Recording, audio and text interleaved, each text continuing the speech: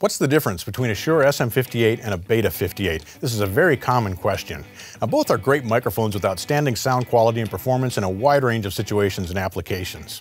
The Shure SM58 is one of the world's most popular handheld vocal microphones. It's a dynamic microphone that utilizes a diaphragm that moves a coil of wire positioned around a magnet. It has a cardioid or heart-shaped pickup or polar pattern that isolates the desired incoming sound and helps the microphone reject feedback and background noise from the sides and the rear. There's an internal shock mount for the element which reduces handling noise.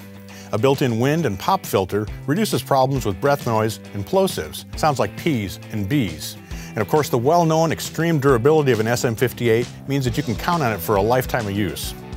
We have frequency response here from 50 Hz to 15 kHz with a slight presence peak or upper higher mid-range peak. This makes it ideal for live vocals and helps the voice cut through a loud mix. But the SM58 can be used on just about any source, not just vocals. Just about anything you could think of will sound great through an SM58. The Beta 58 looks and feels very similar. It's the same weight, but it's a slightly different color and has a blue band around the screen. It takes the characteristics of the SM58 and refines them for even better close-up vocal performance. A big difference is that it has a supercardioid polar pattern, which is sort of spherical from the front with a small tail in the back. This enhances feedback rejection on loud stages. The Beta 58 features a bass roll-off which controls the bottom end, so you can get closer into this mic for more level and more feedback rejection without sounding boomy from proximity effect. The magnet used in the Beta 58 is neodymium, a very powerful magnet.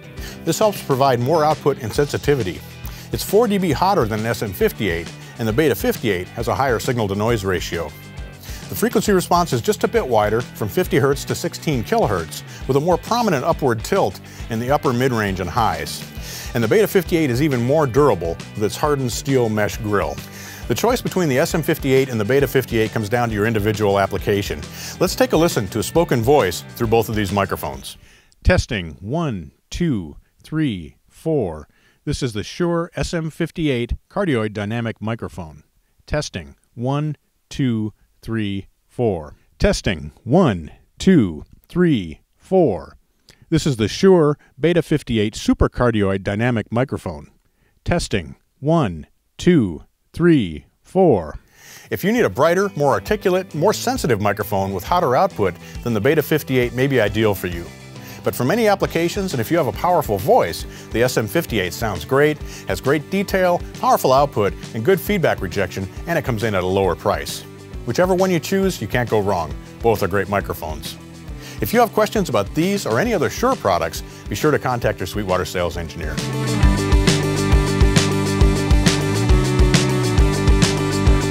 Thanks for watching, and be sure to like, comment, and subscribe. Click here for more videos like these, or start at sweetwater.com for all your music instrument and pro audio needs.